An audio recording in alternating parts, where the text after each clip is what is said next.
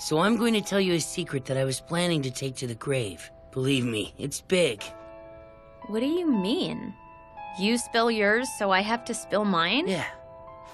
If my secret gets out, I won't be able to survive in this school anymore. Or in normal society, for that matter. This is a lethal secret I'm hiding. Whatever, just tell me this secret of yours. And then I'll decide after that.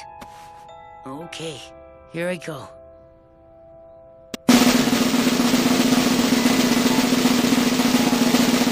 I've masturbated while thinking about you before.